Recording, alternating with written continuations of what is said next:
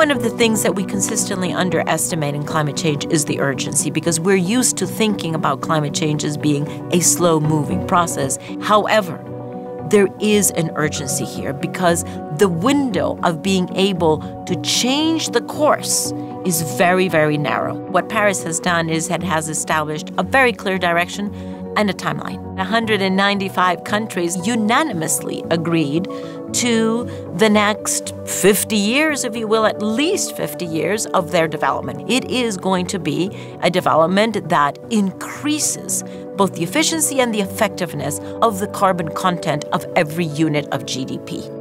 The beauty of Paris, I think, is that it is built on enlightened national interest, all of which are the result of a very, very detailed and rigorous analysis inside their own national boundaries of what is politically, technically, financially possible. So we're working here with a very, very powerful driver of change, which is the self-interest of each country.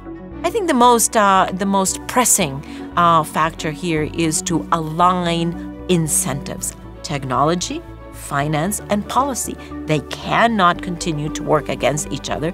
We need to align all three because those are the three that will determine the power of the market to take us forward. There is no doubt that the private sector is going to play a huge role. What governments have done in Paris is they have decided what the direction of travel is going to be. In this case, it's the private sector that has the technology, the capital, uh, the know how, the ingenuity to actually get us there. So one cannot operate without the other. And if there is one fundamental lesson from Paris, is this has got to be a collaboration between private and public.